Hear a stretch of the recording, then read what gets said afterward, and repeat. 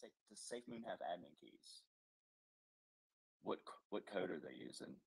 Is it the same proof of? Uh, He's going for the- proof of we can. He's going for the throat. that they form?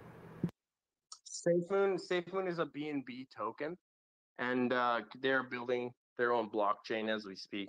So they're they are not on their own chain at the moment. How about And uh, keys? I'm pretty certain that you guys aren't either. What uh, what chain are you guys We're built built off of? Ethereum, but have you ever heard of Pulse Chain?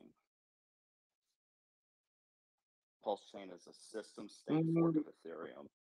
That is damn near. Richard says it's No. done. It might. No, I, I, have, I have not heard of that. Hey, I haven't heard of that. NFT or ERC20, it's going to be copied over. As long as you own your own keys, like not you know how people say not your keys, not your coins. I mean, look at Celsius, look at Voyager, look at all these many other things out there that just wreck people, like wreck Hey,